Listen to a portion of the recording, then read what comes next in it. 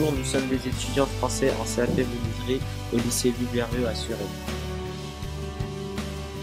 Nous voulons aider notre professeur à réaliser un projet de développement pour les menuisiers de la ville d'Aquin en Haïti.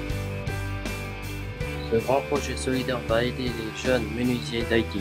Il est vrai qu'ils n'ont pas ni notre chance ni accès à un équipement et un enseignement de qualité.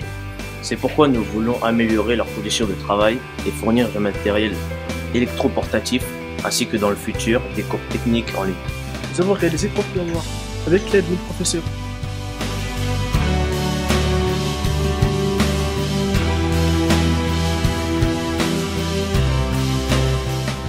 nous les avons vendus sur le marché de Noël à Suresnes afin de commencer à financer le projet.